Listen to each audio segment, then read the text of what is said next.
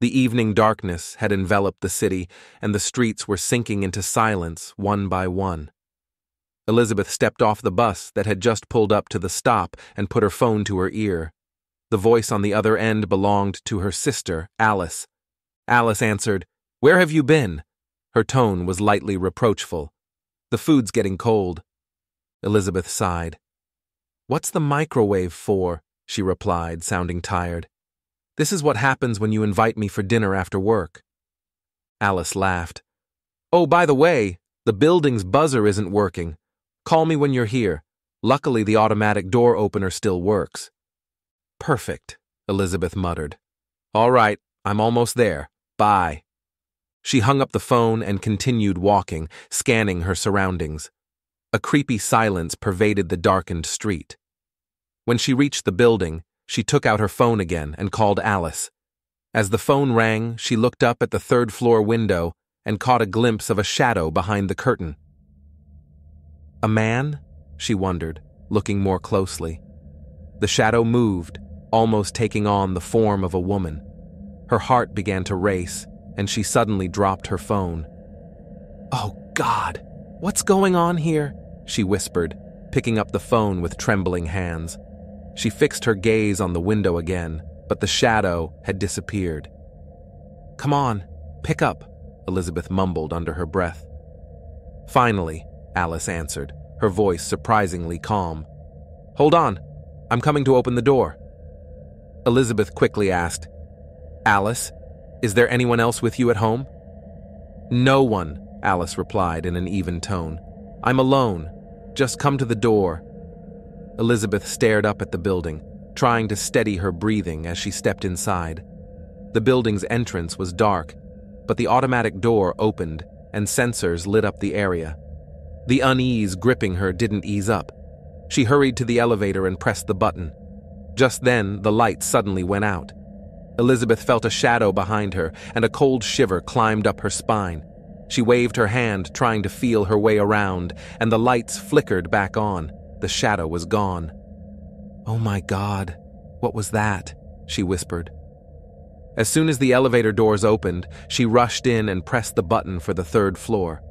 Just before the doors closed, she heard footsteps echoing down the hallway, her heart pounding faster. She glimpsed another shadow moving just as the doors shut. She took a deep breath as the elevator ascended. Oh God, please help me, she muttered under her breath, her hands sweating. When she reached the third floor, the elevator doors opened, and Elizabeth stepped out quickly. Her sister Alice was waiting at the door, her brows slightly furrowed as she looked at Elizabeth with worried eyes. Alice leaned towards her sister. What happened? she asked softly. You look pale. Elizabeth took a deep breath, trying to steady her heartbeat. I think I think something paranormal is happening, she said in a shaky voice. Are you really alone at home? Alice rolled her eyes and slowly nodded. Yes, Elizabeth, I'm alone. Are we going to talk out here, or are you coming in? Despite the lingering chill within her, Elizabeth stepped inside. As the door closed, a light breeze made the curtains flutter. Elizabeth's eyes involuntarily followed a shadow slipping past the mirror's edge, but she forced herself to stay calm. Dropping her bag by the mirror, she saw Alice heading towards the kitchen. Could you not make things even more tense? Alice called from the kitchen. I've had a stressful day at work, Elizabeth replied, sinking into the couch. I'm starving. Let's just eat. Alice popped her head out of the kitchen with a smile. Dinner's almost ready, sis. Elizabeth frowned, looking at her sister. Almost ready? I know you ordered everything in. Alice blinked and shrugged. Yeah, but getting the takeout set up is still a skill, isn't it? She grinned. Just as Elizabeth was about to reply, a rattling sound came from inside. Elizabeth jumped in her seat, her eyes darting towards the source of the noise. What was that? She whispered, her heart pounding in her chest. Alice turned to Elizabeth with visible unease. Calm down. It was probably just something that fell, she said, moving towards the kitchen. I'll go check. Want me to help? Elizabeth offered, trying to calm herself. Alice shook her head. No, no, relax, I'm not a kid anymore, she said, walking towards the hallway from where the sound had come. Once Alice was out of sight, an indescribable chill crept over Elizabeth. Her eyes wandered around the room, scanning the empty walls and dark corners of the rooms. Just then, she noticed a hand slowly rise up from behind the couch, inching closer to her hair, accompanied by another unsettling rattle. Elizabeth jumped up in alarm. Alice! she called out, her voice echoing in the silence, expecting to hear her sister's footsteps in the hallway. But there was no response. Damn it, Alice! she shouted, her steps quickening toward the hallway, her heart racing wildly. She stopped at the dark end of the hallway, where a faint light seeped out from under the door. But under that light, two shadows were merging and shifting. Holding her breath, Elizabeth called out, Alice, are you there? A voice echoed back from the hallway. I'm coming, Elizabeth. It was Alice's voice, but strangely echoed. Elizabeth turned and glanced behind her. Right in front of the living room door, there was an anomaly in the shadow on the wall. Was there another shadow behind her? She wanted to close her eyes in fear, but instead, she steadied her breath and walked toward the door at the end of the hallway.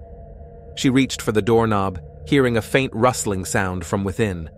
She flung the door open to find Alice, standing there with a broom and a bucket. Alice looked at her sister with a puzzled expression. What are you doing here, Elizabeth? she asked. Elizabeth furrowed her brows and shook her head. Who was with you? she asked, her voice barely a whisper. Alice's puzzled look quickly turned into deep concern. Who? No one. Elizabeth? Alice's confused expression quickly morphed into deep concern. Who? There's no one else, Elizabeth. Elizabeth lowered her voice, saying, Please, tell me the truth. Alice took a deep breath, looking away as she spoke. Okay. Sam is here, she whispered. He wanted to talk to you, but I couldn't tell you. He insisted. Sam? Elizabeth repeated, her eyes widening. Sam? My ex fiance? You're kidding. He's here? Just then, the doorbell rang. Both sisters turned silently toward the door, the sound echoing through the quiet room. Alice nodded slowly. I think he might have stepped outside. Elizabeth's shadow on the wall began to drift in an unusual direction. Alice noticed the shadow shifting strangely, as if another set of eyes had joined it. Alice! Elizabeth's unease turned into overpowering fear. Open the door! Startled, Alice walked to the door and opened it with trembling hands. Standing on the other side was Sam, a faint smile on his face. Hello? Sam said. There was a strange coolness in his gaze as he added, I feel like I wasn't given the warmest welcome. Alice whispered to Sam nervously. Sam, you were supposed to wait inside, she said with concern. Why did you step out? Scratching his chin, Sam replied, I thought I'd wait in the building while you two chatted. By the way, I met your new neighbor. He paused, casting a slight smile to catch Elizabeth and Alice's attention. She reads palms and supposedly casts spells. Spells? Elizabeth repeated, staring at Sam.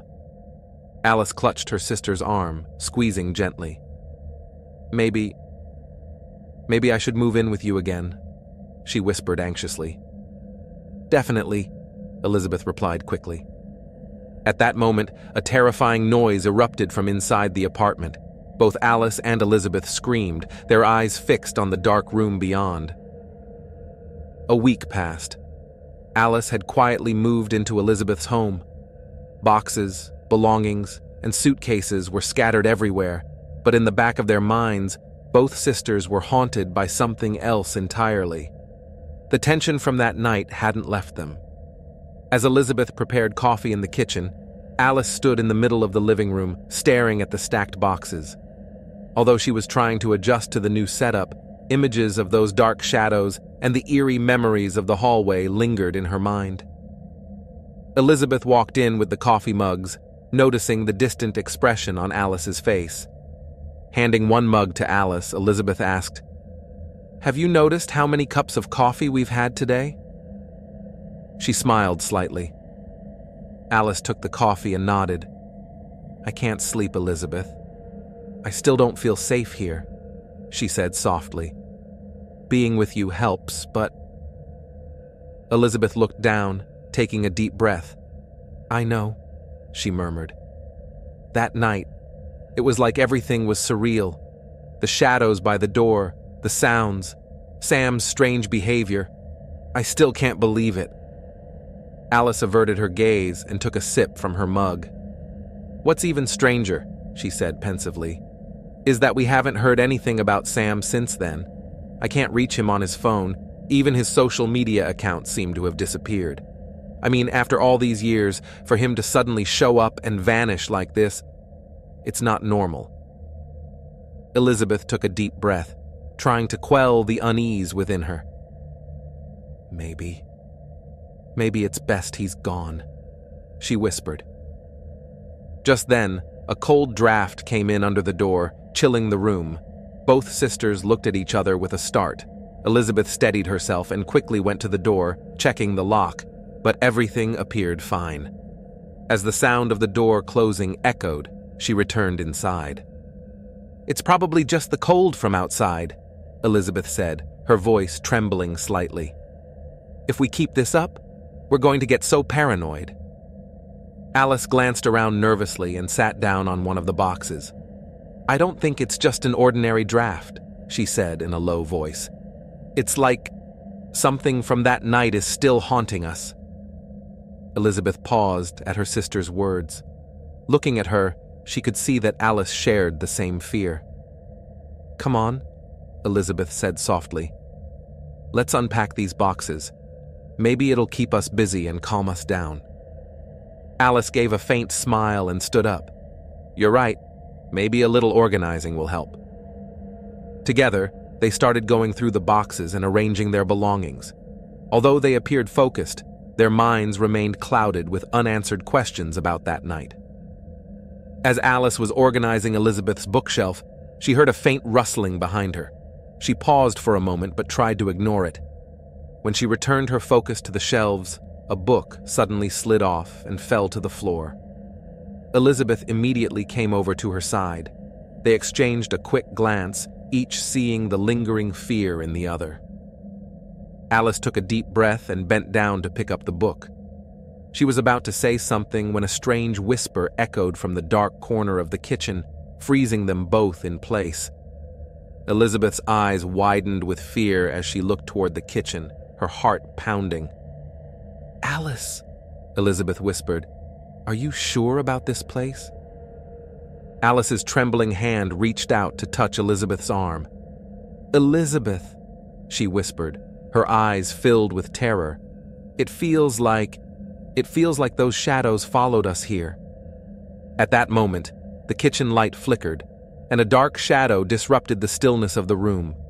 Both of their hearts pounded as whispers spread through the silence of the night. After a few days of unease, Elizabeth and Alice decided to go back to their old home and consult the neighbor who read fortunes. Both of them were plagued by the same question what if the terrifying experiences they had were somehow connected to that fortune teller's actions? They walked slowly, passing through the darkened streets until they reached their old apartment. The building's exterior looked even colder and more ominous than the first day they had moved in. As they approached the apartment entrance, their hearts quickened and the tension rose. Alice extended her hand toward the door, only to pull it back. Elizabeth gave her an encouraging nod. Alice knocked on the door. After a few moments of silence, the door creaked open. Standing behind it was none other than Sam, who had disappeared a week earlier. He wore a faint smile, but his eyes were vacant and soulless. Hey, girls. Sam greeted them in a mocking tone, but his eyes were empty and cold. I knew you missed me. Alice took a step back, stunned by his appearance. Sam, are you okay? She asked in a low voice. Sam tilted his head to the side with a strange smile. I've never been better, he said, stepping aside to let them in. Elizabeth and Alice entered cautiously. The place smelled strange, like a blend of incense and the mustiness of old books.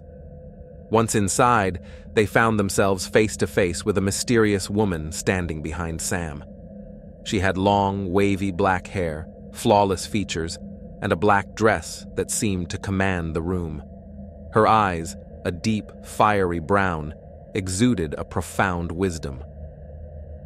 Alice took a few steps toward the woman, nodding with a puzzled expression.